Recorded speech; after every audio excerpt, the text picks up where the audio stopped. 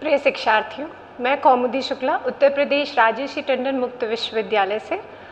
आज आपके समक्ष जो हम कंटेम्प्रेरी इंडिया एंड एजुकेशन जो पेपर पढ़ रहे थे, उसका जो ब्लॉक वन था फिलोसफिकल फाउंडेशंस ऑफ़ एजुकेशन उसी की यूनिट वन और यूनिट टू हमने समाप्त कर दी है। अब हम यूनिट थ्री आज स्टार्ट करेंगे।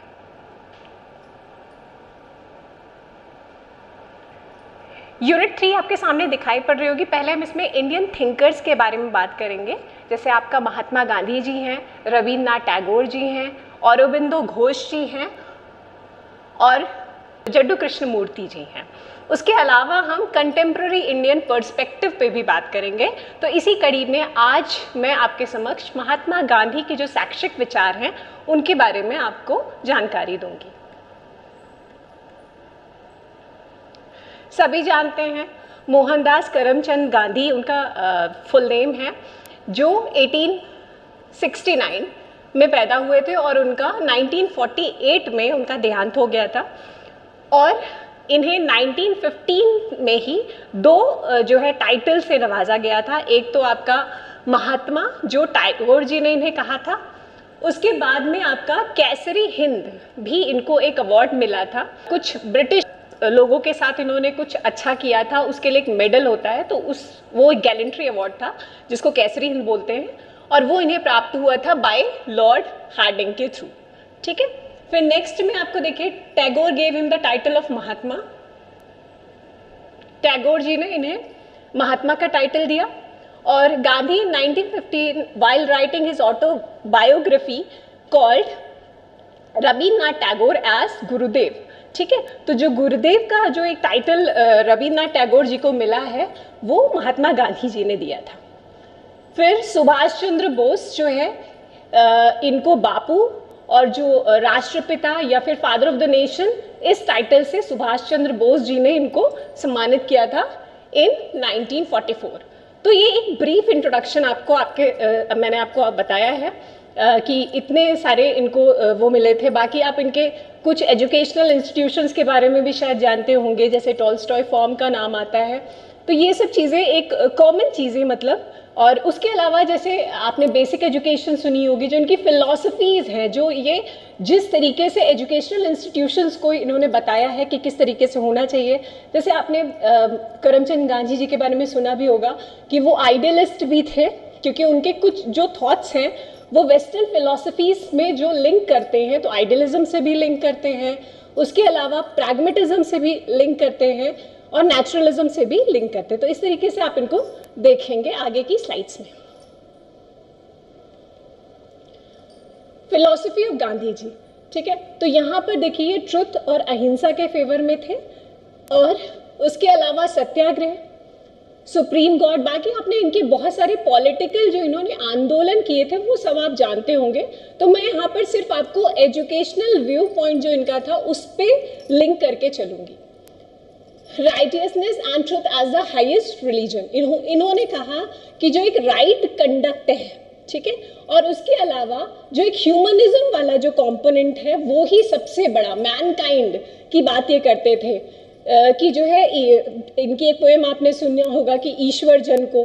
तो यानी ये जनहित की बात करते थे, ठीक है? ये सोचते थे कि आप भले ही जैसे सर्वोदय का जो इन्होंने कॉन्सेप्ट दिया, उसमें ये बोला है उन्होंने कि हमें इनकम वाइज अगर हम जो है किसी को इक्वल नहीं कर पा रहे हैं, फिर भी हमें क्या है, उसकी डिग्निटी को मेंटेन करना चाहिए। भले ही समाज में बहुत सारे लोग हैं जो, जैसे बार्बर है एक तो बार्बर का जो इनकम है वो बहुत कम है। एक लॉयर है, उसकी इनकम बहुत ज़्यादा है। लेकिन फिर भी दोनों ही डिग्निफाइड प्रोफेशन में है। उसका भी काम ज़रूरी है समाज के लिए और उसका भी काम ज़रूरी है समाज के लिए। तो दोनों को हमें विथ फुल रिस्पेक्ट देखना चाहिए। हमें किसी की भी इनकम की वजह से उसको कम में नहीं आंकना चाहिए या किसी के काम की वजह से उसको कम नहीं आंकना चाहिए। ये चीज़ें कहते थे। फिर सर्विस ऑफ़ ह्यूमैनिटी की बात करते थे। यानी वही कि मानव जो भी काम कर रहा है, उसमें वो स्किलफुल वर्क की बात करते थे। जैसे आपने देखा होगा, इन्होंने वोकेशनल एजुकेशन को बहुत ज़्यादा प्रमोट करने किया। ब्रेड और बटर को इन्होंने वोकेशनल एजुकेशन से लिंक किया कि कोई भी शिक्षा तब तक ज़रूरी, वही शिक्षा ज़रूरी है, जहाँ पर वो ब्रेड और बटर का जो एम है व्यक्ति का, उसको फुलफिल कर पाए। क्योंकि अगर वो एम फुलफिल नहीं होता है। अगर रोज़गार परक शिक्षा नहीं होती है तो उस शिक्षा की कोई ज़रूरत नहीं है। तो फिर Ram Rajya as a concept of society ठीक है? ये राम राज्य की भी एक संकल्पना करते थे कि एक जो सोसाइटी होनी चाहिए, वो राम राज्य टाइप की होनी चाहिए। राम राज्य यानी वेलफेयर ऑफ़ ऑल की बात करते थे, ठीक है? जहाँ पर ब्रदरहुड हो जस्टिस हो पीस हो हैप्पीनेस हो और वेलफेयर ऑफ़ ऑल हो, ऐसा राम राज्य की संकल्पना गांधी जी करते थे। फिर इनके कुछ फंडामेंटल प्रिंसिपल्स हैं एजुकेशन के, जैसे कि ये, क्योंकि इनका टाइम पीरियड आप देख रहे हैं 1869 से 1948 तक का है तो उस टाइम पर ब्रिटिश का शासनकाल था, ठीक है? तो ब्रिटिश का जो ब्रिटिशर्स का जो शोषण था हमारे ऊपर, जो उन्होंने जो उन्होंने हमारे लिए जो भी चीज़ें वो हमारे ऊपर जो अत्याचार कर रहे थे, वो सब चीज़ें ये देख रहे थे। और साउथ अफ्रीका का भी आप जान रहे हैं इनकी जर्नी की, वहाँ पर भी इन्होंने ये सारी चीज़ें देखी थी। तो उस हिसाब से ये कहते थे कि जो है एजुकेशन के ऊपर हमारा खुद का कंट्रोल होना चाहिए इंडियंस का कंट्रोल होना चाहिए। हमारी जो एजुकेशन होनी चाहिए, वो मदर टंग में होनी चाहिए। ठीक है? उसमें हमें पाश्चात्य को इतना ज़्यादा क्योंकि ये इंडस्ट्रियलाइजेशन के भी उतने ज़्यादा फेवर में नहीं थे। ठीक है? तो ये फॉस्टरिंग ऑफ़ पेट्रियाटिज्म की बात करते हैं, यानी अपने अंदर देशभक्ति का जो एक वो है, उसको व्यक्ति को आत्मसात करना चाहिए और उसके हिसाब से अपने देश की वैल्यूज़ को, अपने कल्चरल कल्चर को ये इनहेरिट करने की बात करते थे, उसको ये कल्चरल एम के साथ एजुकेशन को लेने की कोशिश करते थे। फिर है no servile imitation of the west ठीक है? इन्होंने यही कहा था कि हमें ये जो हम होड़ में लगे हुए हैं, पाश्चात्य को जो है हम अपने ऊपर जो इतना ज़्यादा हावी होने दे रहे हैं, ये नहीं होना चाहिए। फिर no domination of English language ठीक है इंग्लिश लैंग्वेज को बिल्कुल इन्होंने मतलब जो एजुकेशन के लिए जो माना गया था तो इन्होंने मातृभाषा को ही के ही साथ एजुकेशन लेने के लिए पे बल दिया था। इंग्लिश लैंग्वेज को वहाँ से हटाने की बात कही थी। His educational experiments at Tolstoy farm at Sabarmati and Sevagram ashrams आपने इनके जो कुछ एजुकेशनल एक्सपेरिमेंट्स हैं, जहाँ पर जो जिस पर्टिकुलर संस्था में इन्होंने किए थे, उसके नाम यहाँ पर दिए हुए हैं। ये आपसे कभी कभी एग्ज़ाम्स में भी पूछता है, इसलिए ये जो है, जानने की ज़रूरत है कि टॉलस्टॉय फार्म जो है, इसका फाउंडेशन भी इन्होंने रखा था। साबरमती और सेवाग्राम आश्रम, यहाँ पर इनकी जो बेसिक एजुकेशन आपने सुना होगा या फिर वर्धा स्कीम आपने सुना होगा, या बुनियादी तालीम के नाम से जानी जाती है तो उस हिसाब से ही, उसी स्ट्रक्चर में यहाँ पर एजुकेशन दी जाती थी, बच्चों को। इनकी एजुकेशनल डेफिनेशन आपको दिखाई पड़ रही होगी कि by education I mean an all round drawing out of the best in the child and man body mind and spirit ठीक है? ये एक हारमोनियस डेवलपमेंट की बात करते थे, ठीक है? तो उसमें इन्होंने कहा है कि जो बच्चे की इनर पोटेंशियल है, उसको बाहर निकलना चाहिए और बॉडी माइंड और स्पिरिट ठीक है? यानी देखिए, जैसे आपने स्पिरिट का जो कॉन्सेप्ट पढ़ा था वेस्टर्न फिलोसफी में, वो आइडियलिज्म से जुड़ा हुआ था। ठीक है? तो ये बॉडी के डेवलपमेंट की भी बात करते थे, यानी फ़िज़िकल डेवलपमेंट की भी माइंड यानी कॉग्नेटिव लेवल के डेवलपमेंट की भी, और उसके बाद में स्पिरिचुअल डेवलपमेंट ठीक है?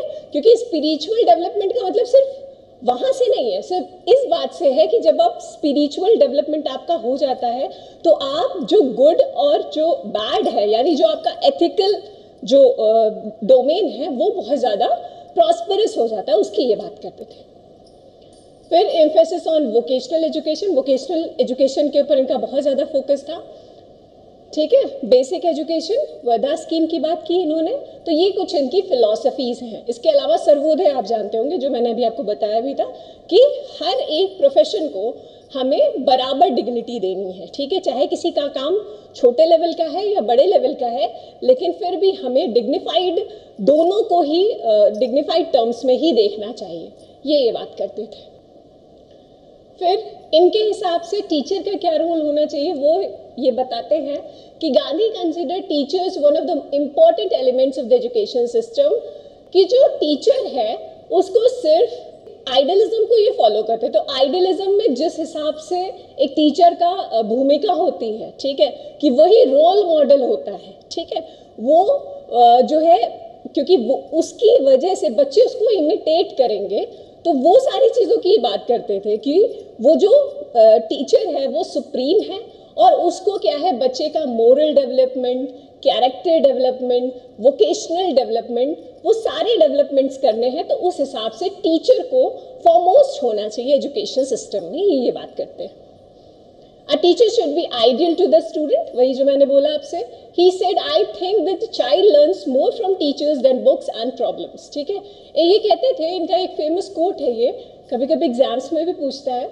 तो ये कहते हैं कि I think that the children that a teacher is the foremost and he learns more from teachers than books और प्रॉब्लम्स यानी जो बच्चा है, वो टीचर से सबसे ज़्यादा सीखता है रादर दैन बुक से या प्रॉब्लम से। ठीक है? तो इसलिए उन्होंने एक आइडियल कैरेक्टर की बात कही है there should be teachers with originality and enthusiasm यानी टीचर जब आए तो वो ओरिजिनल होकर के आए। ठीक है? बहुत ज़्यादा बनावटीपन ना हो उसमें, और इंथ्यूसियास्टिक हो वो। ये इसकी बात करते हैं। They must have genius and illustrative talent ठीक है? टीचर को जीनियस होना चाहिए, यानी नॉलेज का सुप्रीम पावर होना चाहिए, और उसके साथ ही साथ इलस्ट्रेटिव टैलेंट होना चाहिए। इलस्ट्रेटिव टैलेंट का मतलब है कि वो जो भी चीज़ें बच्चों को बताए, वो ऐसे एक्सप्रेसिव मोड में बताए कि बच्चे को वो सारी चीज़ें समझ में आए।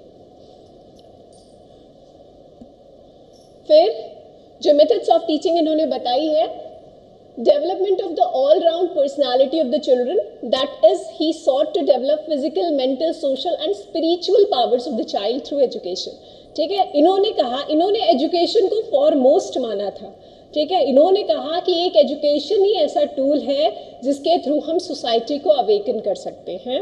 उसके अलावा बच्चे के जितने भी पक्ष हैं, जितने भी आपने साइकोलॉजी में उसके डोमेन्स पढ़े हैं, चाहे वो कॉग्निटिव डोमेन हो, चाहे उसका अफेक्टिव डोमेन हो, चाहे उसका साइकोमोटर डोमेन हो, चाहे उसका स्पिरिचुअल डोमेन हो, वो सारे के सारे मोरल या कैरेक्टर बिल्डअप हो, वो सब कुछ हम एजुकेशन के थ्रू ही कर सकते हैं।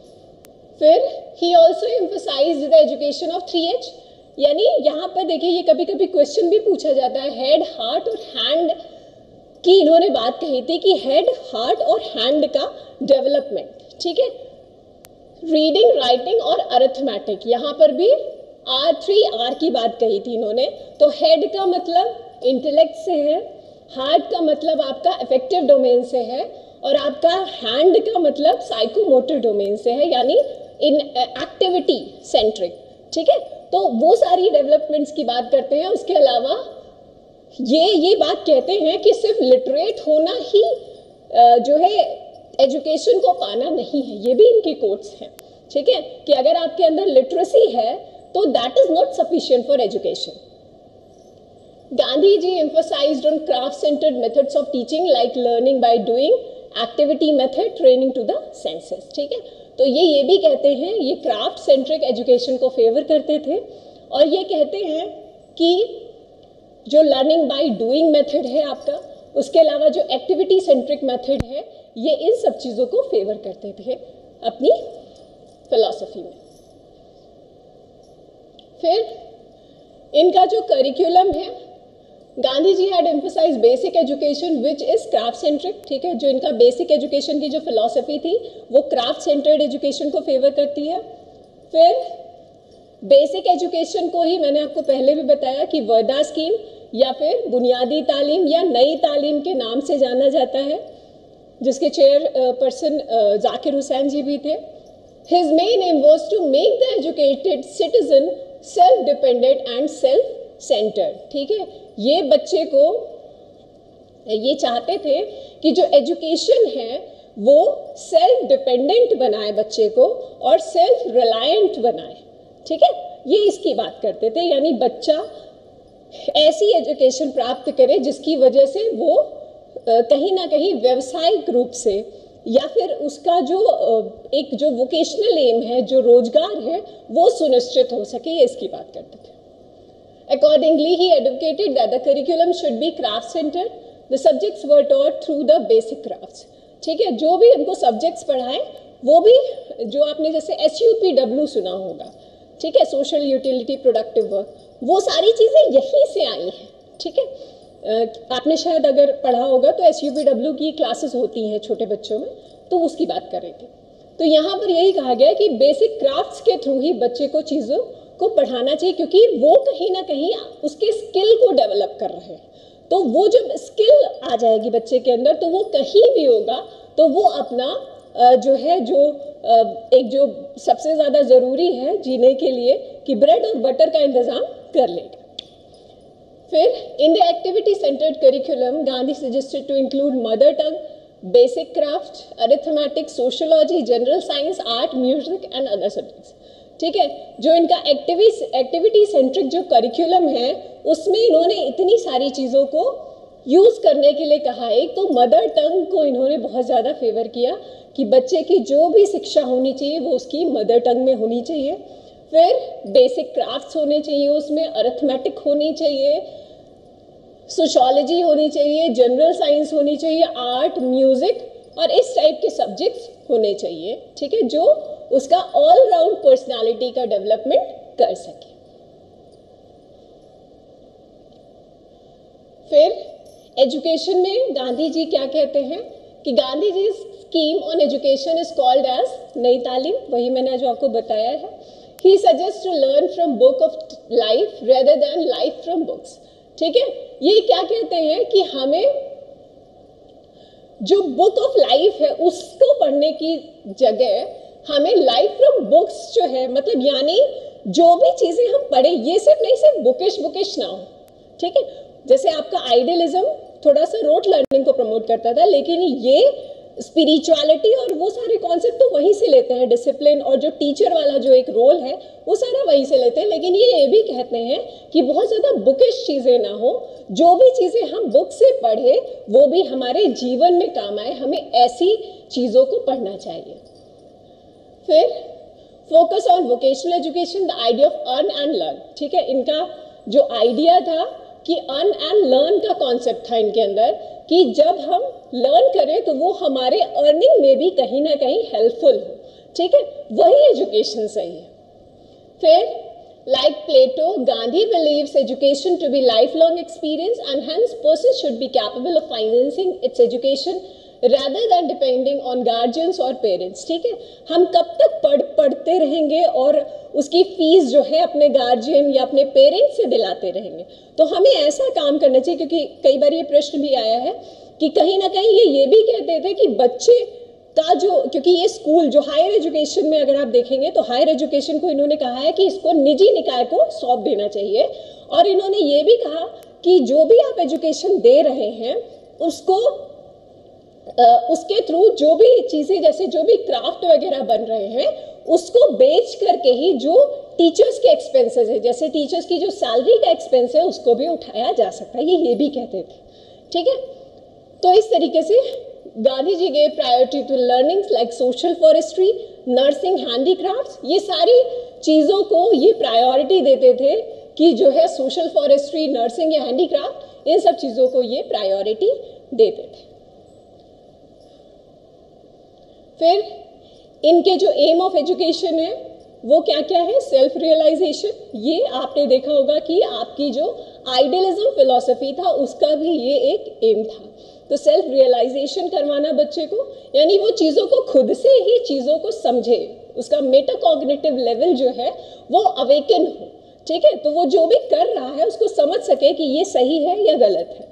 तो वो सेल्फ रियलाइजेशन फिर स्पिरिचुअल डेवलपमेंट की बात ये करते हैं।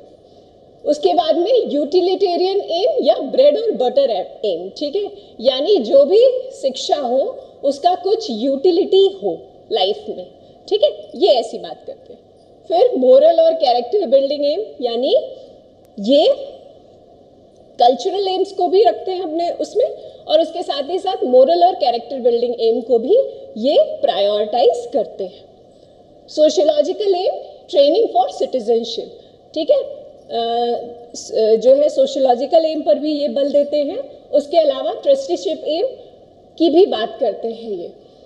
फिर हारमोनियस डेवलपमेंट एम यानी कंप्लीट लिविंग ये जो एजुकेशन हो, वो बच्चे को कंप्लीट लिविंग के लिए प्रिपेयर करे, ठीक है? उसका, वो इस शिक्षा के थ्रू अपना सर्वांगीण विकास कर पाए, ये इसकी बात करते हैं।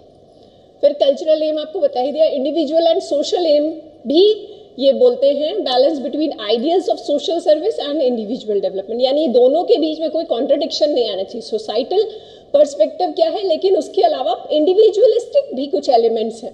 तो वो दोनों के बीच में बैलेंस की बात करते हैं। यानी एम जो एजुकेशन का है, वो सोशल डेवलपमेंट तो है ही, लेकिन उसका पर्सनल डेवलपमेंट भी है इंडिविजुअलिस्टिक डेवलपमेंट भी है, ये उसकी बात भी करते हैं। फिर अब इनके जो अगर आपको कुछ नहीं समझ में आया तो ब्रेड और बटर में जो चीज़ें हैं this is also called utilitarian aim it is due to this that that he gave the principle of self supporting education यानी ये ये कहते हैं कि जो भी शिक्षा हो, वो सेल्फ सपोर्टिंग हो। ठीक है? वो खुद को सपोर्ट करने के लिए यूजफुल हो, ऐसा जो है शिक्षा हमें प्रदान करनी चाहिए। The student should not only be made capable of earning own livelihood in later life after school but also during the schooling ठीक है? तो जो स्टूडेंट है, वो उस शिक्षा के बाद अपना लाइवलीहुड भी, यानी वही वोकेशनल एजुकेशन की बात है, कि ये उसके फेवर में ज़्यादा थे। फिर the child must be an earning unit who must be self sufficient right from the beginning of the education of the child ठीक है? जैसे शुरुआती दौर में भी जो उसके फ़िज़िकल डेवलपमेंट के साथ ही साथ ये वोकेशनल डेवलपमेंट की बात करते थे। फिर सेल्फ सफिशिएंट बिकॉज़ ऑफ़ वही जो मैंने आपको बताया था कि जो भी वो प्रोडक्टिव वर्क करे, उसके थ्रू हम टीचर्स की भी सैलरीज को उससे मैनेज कर सकते हैं। ये ये भी कहते थे कि मतलब स्कूल को इतनी बड़ी चीज़ नहीं है। हम इस तरीके से भी चीज़ों को अगर हम स्किल बेस्ड एजुकेशन की बात जो वोकेशनल एजुकेशन है उनका, वो वाकई अगर देखा जाए तो स्किल बेस्ड एजुकेशन है। तो उसमें कहते थे कि जो भी स्किलफुल हैंडीक्राफ्ट बने, उसके थ्रू हम जो है जो टीचर्स हैं या जो भी उस स्कूल में जो भी खर्चे आते हैं, उसको भी मैनेज कर सकते हैं। ये इसकी बात करते थे। फिर कल्चरल एम में क्या कहते थे? कल्चरल एम का मतलब था इनका कि जो पर्सनालिटी है, उसका रिफाइनमेंट की बात करते थे। ठीक है? कि कल्चरल एम का मतलब सिर्फ़ क्योंकि एक पीढ़ी से दूसरी पीढ़ी तक हमारे कल्चर ट्रांसमिट होंगे, ये तो है। लेकिन कल्चर का मतलब सिर्फ़ इतना नहीं है कि सिर्फ़ हमारे से जुड़ी हुई चीज़ें। ठीक है? बल्कि ये ये भी कहते थे कि कैसे हम बिहेव करते हैं? ये देखिए स्पीच बिहेवियर और मैनर ठीक है? यानी पर्सनालिटी का मतलब क्या है? कि जो आपका बिहेवियर है, जो आपकी स्पीच है, जो आपका मैनर है ऑफ़ टॉकिंग तो वो सब चीज़ का रिफाइनमेंट ये कल्चरल एम में इंक्लूड करते थे. Student should appreciate appreciate world culture ठीक है? और ऐसा भी नहीं है, कूप मंडूक नहीं बनाना चाहते थे। ये भी ये बात कहते थे कि जो बच्चा है, उसको अप्रिशिएट करना चाहिए पूरे वर्ल्ड के ही कल्चर को। ठीक है, उसको वो भी सिखाना चाहिए, समझाना चाहिए, लेकिन किसी चीज़ को किसी पाश्चात्य संस्कृति को हमें अपने ऊपर हावी होने देने की ज़रूरत नहीं है, क्योंकि हमारे पास जो चीज़ें हैं, पहले हमें उनको समझना, उनको आगे लेकर के जाना है, तब जा करके हम दूसरे की चीज़ों को समझ करके और उसका एक कंपैरिजन कर सकते हैं, लेकिन ये नहीं कि हम उस चीज़ को अपने ऊपर हावी होने दें। फिर हारमोनियस डेवलपमेंट में कहा है कि person is that who adjust to his life and environment ठीक है? यानी लाइफ और एनवायरमेंट दोनों के बीच में जो सामंजस्य है, उसको इन्होंने कहा है कि हारमोनियस डेवलपमेंट की। फिर he laid greater emphasis on the development ये मैंने आपको पहले ही बताया था कि हेड हैंड और हार्ट के डेवलपमेंट से ज़्यादा इन्होंने थ्री आवर्स के डेवलपमेंट को कहा है कि रीडिंग राइटिंग और अर्थमेटिक का डेवलपमेंट हो। मोरल और कैरेक्टर बिल्डिंग में इन्होंने कहा है कि central purpose of the education is to build a character ठीक है? सबसे ज़्यादा ज़रूरी क्या है कि आपका जो आपका कैरेक्टर बिल्डिंग है ठीक है? क्योंकि आप आ, जैसे अगर इनकी किताब आप पढ़ेंगे माई एक्सपेरिमेंट्स विद ट्रूथ उसमें भी इन्होंने सारी चीज़ों को बताया है कि मैंने ये ये चीज़ें की ठीक है? क्योंकि तभी आप समझ पाएँगे ना कि क्या गलत था, क्योंकि हर व्यक्ति है, वो कुछ ना कुछ अपनी लाइफ में कुछ अच्छा भी करता है कभी कभी कुछ गलतियाँ भी होती हैं। लेकिन उन गलतियों को छिपाने से ज़्यादा अच्छा है कि उन गलतियों से सीख के हम दोबारा उस चीज़ को पास ऑन ना करें। ठीक है तो ये इसकी बात करते हैं। If choice is to made between character and other things in life then everything else can be subordinated to the former इन्होंने ये भी कहा है कि अगर कैरेक्टर और बाकी सभी चीज़ों की बात आती है तो सबसे ज़्यादा जो फॉरमोस्ट चीज़ है, वो कैरेक्टर का डेवलपमेंट है। Honesty trustworthy integrity reliability respect to the rights of the others ये सारी चीज़ों की बात ये करते हैं। जैसे इनका जो सत्याग्रह का कॉन्सेप्ट है, उसमें भी इन्होंने कहा है कि भले ही विरोधी को कष्ट देकर नहीं, लेकिन खुद को जो है, कष्ट देकर भी हमें सत्य का पालन करना चाहिए। तो ये उन सब चीज़ों के फेवर में थे कि प्रेम, सत्य ऑनेस्टी ब्रदरहुड इंटीग्रिटी ये सारी चीज़ों को ये फेवर आउट करते थे। फिर सोशियोलॉजिकल एम में इन्होंने क्या बताया? यूनिवर्सल एजुकेशन की बात करते थे। इनका जो लेकिन अगर आप देखेंगे, अभी कॉन्क्लूडिव पॉइंट्स में शायद लिखा भी होगा कि ये सात साल के ऊपर के बच्चों की शिक्षा की बात करते हैं। तो Gandhi ji reconcile the individual and social aims of education ठीक है, इन्होंने इंडिविजुअल और सोशल एम्स की बात कही है। फिर उसके बाद में यूनिवर्सल एजुकेशन की बात कही है। फिर एवरी मेंबर ऑफ़ द समाज should be educated so that he could uplift ठीक है, यानी वही सर्वजन हिताय, सर्वजन सुखाय वाली जो बात होती है कि इन्होंने सबकी शिक्षा की बात कही है। He must have qualities of a good citizen ठीक है, जिस, जो भी बच्चा पढ़ाया जाए, वो उसके अंदर अच्छी क्वालिटीज का अमालमेशन हो इसकी बात करते हैं। Essential qualities are spirit of courage and self sacrifice फिर डिसिप्लिन जो बोलते हैं तो ये इनर डिसिप्लिन की बात करते हैं। जैसे हमने आइडियलिज्म में पढ़ा था कि inner discipline through self control की ये बात करते हैं। ठीक है? फिर क्रिटिक ऑफ़ मॉडर्न क्योंकि ये मॉडर्न uh, सिविलाइजेशन के थोड़ा सा फेवर में नहीं थे। दो चीज़ों की वजह से, एक तो उसकी यूटिलिटी और दूसरा मटीरियलिज्म, क्योंकि बहुत ज़्यादा जब मशीनी मशीनी चीज़ें हो गई तो क्या हुआ बिल्कुल इंसान को एकदम जो है पशुवत मानने लगा तो वो सब चीज़ों को ये थोड़ा सा नहीं चाहते थे। और बहुत ज़्यादा मटीरियलिस्टिक हो जाएगा तो वहाँ से क्या है, बच्चे के अंदर जो एक वैल्यूज़ होती हैं, जो जो एक क्वालिटीज़ ऑफ़ ह्यूमन नेचर होता है, वो सारी चीज़ें ख़त्म हो जाएँगी। ये ये ये चीज़ें समझाने की बात कर रहे हैं। फिर कॉन्क्लूडिव फीचर्स में देख लीजिए। फ्री एंड कंपलसरी एजुकेशन की बात गांधी जी ने भी कही थी सात से चौदह एज की बच्चों तक के लिए। फिर क्राफ्ट सेंट्रिक एजुकेशन की बात कही थी। सेल्फ सपोर्टिंग एलिमेंट की बात कही थी। Education should be in mother tongue इन्होंने कहा था। फिर बेस्ड ऑन नॉन वायलेंस यानी अहिंसा के लिए इन्होंने प्रेरित किया था। तो इस तरीके से आज हमने महात्मा गांधी जी का जो एजुकेशनल फ़िलासफ़ी जो, उनका जो एजुकेशनिस्ट के रूप में जो उनकी, जो भी फ़िलासफ़ी में जो उन्होंने कहा है, उसके बारे में बात की। और उसमें हमने देखा कि वो कैसे एक आइडलिस्ट को फेवर करते हैं, फिर कैसे उन्होंने रियलिज्म के कुछ कंपोनेंट्स को अपने अंदर लिए, फिर कैसे कैसे वो प्रैग्मेटिस्ट के कुछ कंपोनेंट्स को उन्होंने अपने अंदर लिए। तो इस तरीके से अब हम जो है आप जो है, मैं इसी जगह पर इस लेक्चर को पूर्ण करती हूँ। आपको जो भी क्वेरीज हो, आप चैट के माध्यम से या यहाँ यूनिवर्सिटी विज़िट करके भी आप अपनी समस्या का समाधान कर सकते हैं। धन्यवाद।